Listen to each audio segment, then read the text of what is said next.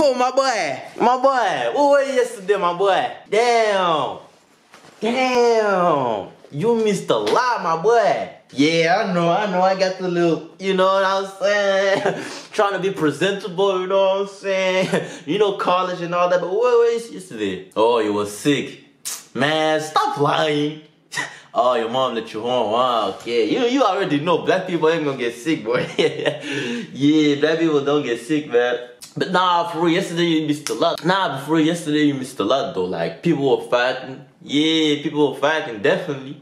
Yeah. Jeroid and Leroy were fighting over a girl, man. God damn.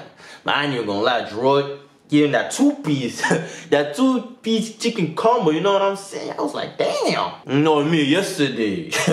in the hallway, me and the girl, you know, I was like, ah, all up in her shit. All up in her shit, my boy. Yeah, boy.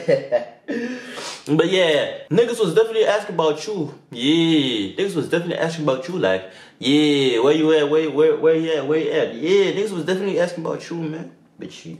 I don't even know too. Like you was even, were even, you were even responding on my text messages and like all that. You know what I'm saying? So I was like, nigga, I don't know where that nigga at. Shit, but now you here, bro. Don't, don't ever leave me alone in this class with all them niggas over here. You know what I'm saying? Now, oh shit, oh shit, the teacher's coming. Hello, Mrs. Maggots.